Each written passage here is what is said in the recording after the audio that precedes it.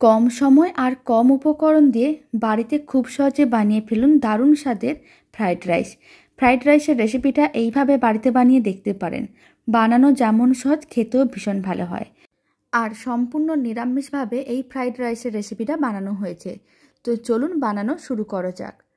নমস্কার, আমি রুমি, আপনাদের সবাইকে আবারও একটা দারুণ স্বাদের রেসিপিতে স্বাগত। প্রথম একটা মিক্সিং বোলের মধ্যে এক কাপ চাল নিয়েছিলাম মানে দুশো গ্রাম চালকে প্রায় তিরিশ মিনিট আগে থেকে জলে ভিজিয়ে রেখেছিলাম। এবার চালগুলোকে খুব ভালো করে ধুয়ে নিতে হবে।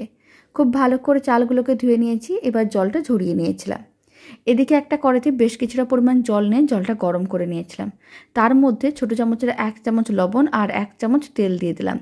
এখন লবণ ও সাদা তেলটা খুব ভালো করে জলের সঙ্গে মিশিয়ে নিতে হবে।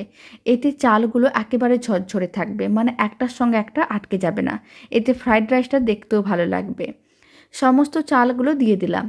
এখন প্রথমে মিডিয়াম টু হাই ফ্লেমে পাঁচ মিনিটের মতন রান্না করে নিচ্ছি। পাঁচ মিনিট মিডিয়াম টু হাই ফ্লেমে রান্না করে নিয়েছিলাম। আপনারা দেখুন চালগুলো সাইজে অনেকটাই বড় হয়ে গেছে। এইভাবে আরও পাঁচ মিনিট রান্না করে নিতে হবে। আরও পাঁচ মিনিট রান্না করে নিয়েছিলাম আর এই সময় ফ্লেমটা মিডিয়ামে রেখেছিলাম। চালগুলো খুব ভালো করে কিন্তু রান্না হয়ে গেছে। চালটা হাতে নিয়ে একটু ভেঙে দেখে নিতে হবে। যদি ভেঙে যায় তাহলে বুঝে নিতে হবে, রেডি হয়ে গেছে। এবার এইভাবে তুলে আমি জলটা ঝরিয়ে নিলাম। এদিকে একটা কড়াইতে দু চামচের মতন সাদা তেল নিয়েছিলাম, তার মধ্যে কেটে রাখা গাজর দিয়ে দিলাম আর দিয়ে দিচ্ছি বিনস। এবার আমি এর মধ্যে দিয়ে দিচ্ছি অল্প একটু লবণ, প্রায় হাফ চামচের মতন লবণ দিয়ে দিলাম। সমস্ত কিছু একসঙ্গে খুব ভালো করে মিশিয়ে নিতে হবে। তারপর সবজিগুলোকে নাড়াচাড়া করে ভেজে নিতে হবে। মোটামুটি দু থেকে তিন মিনিট মিডিয়াম টু হাই ফ্লেমে এইভাবে নাড়াচাড়া করলে সবজিগুলো ভাজা হয়ে যাবে। আর এই সময় সবজিগুলো ভেজে নেওয়ার সময় এর মধ্যে আমি দিয়ে দিচ্ছি দশ বারোটার মতন কাজু বাদাম আর দিয়ে দিচ্ছি পনেরো ষোলোটার মতন কিশমিশ। এতে ফ্রাইড রাইস দেখতেও ভালো লাগে, খেতেও ভালো লাগে। আর এই ফ্রাইড রাইসটা বানানোর জন্য খুব বেশি উপকরণের প্রয়োজন পড়বে না। মাত্র কয়েকটি উপকরণ দিয়ে বানানো যায়, তবে খেতে বেশ ভালো হয়।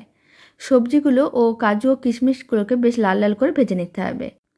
প্রায় দু থেকে তিন মিনিট মিডিয়াম টু হাই ফ্লেমে ভেজে নিয়েছিলাম। এখন যে ভাতটা রান্না করে রেখেছিলাম, সেই ভাতটা দিয়ে দিলাম।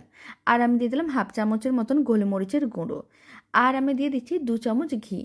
তারপর সমস্ত কিছু একসঙ্গে খুব ভালো করে মিশিয়ে নিতে হবে।